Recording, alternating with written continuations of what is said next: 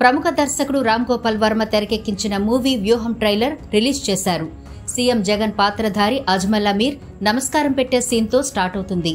ట్రైలర్లో చంద్రబాబు క్యారెక్టర్ చేసే వ్యూహాలు పవన్ కళ్యాణ్ రోల్ చేసే వ్యక్తి కామెంట్స్తో ట్రైలర్కు ఆర్జీవీ హైప్ తీసుకొచ్చారు.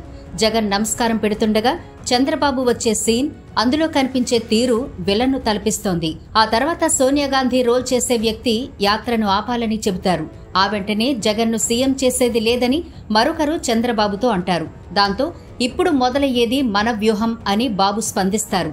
బాబు చెప్పిన అబద్దాలు ఎన్నికల తర్వాత తెలుసుకుంటారని అజ్మల్ అమీర్ భారతీ పాత్ర చేసే మానస రాధాకృష్ణన్తో చెబుతారు. ఆస్తుల కేసుకు సంబంధించి విచారణలో మీ స్టేట్మెంట్ ఏంటని ఫైనల్గా చెప్పాలని విచారణ అధికారి కోరగా తన స్టేట్మెంట్ మీకు కాదు మిమ్మల్ని పంపించిన వారిని అని అమీర్ స్పష్టం చేస్తారు.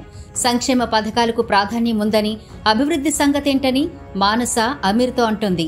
కాలర్ పట్టుకుని లాక్కుని వెళ్ళాలని చంద్రబాబు అంటారు. నలభై ఏళ్ళ ఇండస్ట్రీ మీరు.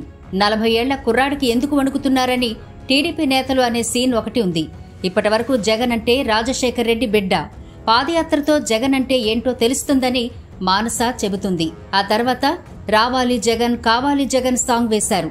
రెండు వేల పంతొమ్మిది ఎన్నికల్లో పీకే ఇచ్చిన ఆ స్లోగన్తో వైసీపీ అధికారంలోకి వచ్చిన సంగతి తెలిసిందే.